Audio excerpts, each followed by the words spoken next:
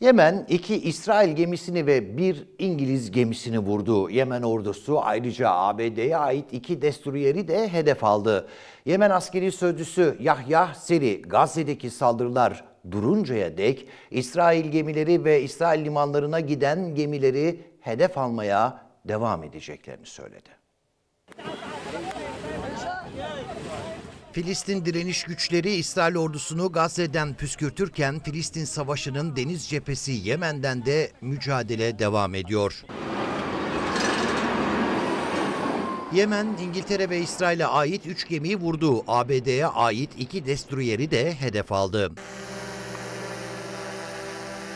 Yemen askeri sözcüsü Yahya Seri, iki İsrail gemisinden birinin Hint okyanusunda bir diğerinin ise Umman denizinde vurulduğunu duyurdu.